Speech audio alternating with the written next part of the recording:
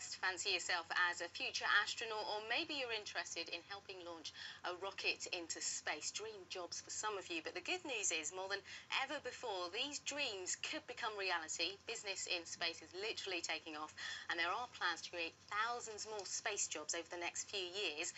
Rick has been finding out more. Working in space isn't just about being an astronaut. There are loads of other space jobs.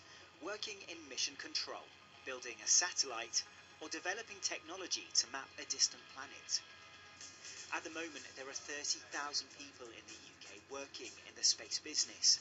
But Chancellor George Osborne, who controls the country's money, wants there to be 100,000 within the next 20 years.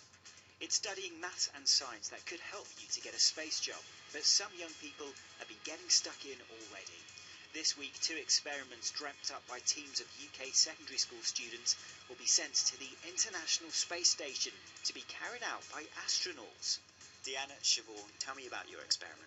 So mine is looking at antibiotics, which is a type of medicine, and we're going to see whether the medicine works better or worse in space. Siobhan, you're working on something called slime mold, which I'm fascinated about. It's a really simple organism that kind of acts like it has a brain that will grow to find a food source and remember that path. So we hope that if we put it in microgravity, that it will grow three dimensionally. How do you feel knowing that something you've worked on is going to be looked at, you know, in space?